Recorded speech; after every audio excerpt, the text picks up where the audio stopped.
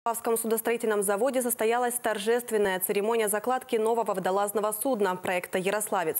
Катер разработан по заказу одного из крупных предприятий, занимающихся обслуживанием нефтепроводов Волго-Камского бассейна. Судно будет использоваться для водолазных работ на глубине до 45 метров, а также на реках и озерах с высотой волны до 2 метров или в зимних условиях с толщиной льда до 10 сантиметров.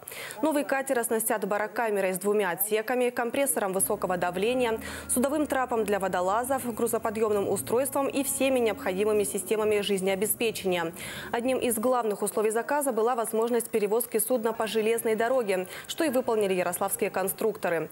Для выполнения заказа пришлось модернизировать цеха расширять э, вот в цехе линии, по которым будет судно проходить, э, менять спусковое устройство, усиливать его, чтобы вес можно было спустить, углублять дно, менять рельсы. То есть мы даже как бы вот вынуждены были модернизировать производство под этот заказ. Задача была интересная, потому что э, судно хоть и малое, но оно, э, можно сказать, что оно совершенное судно. И хотелось построить именно совершенно идеальное судно и, и красивое судно.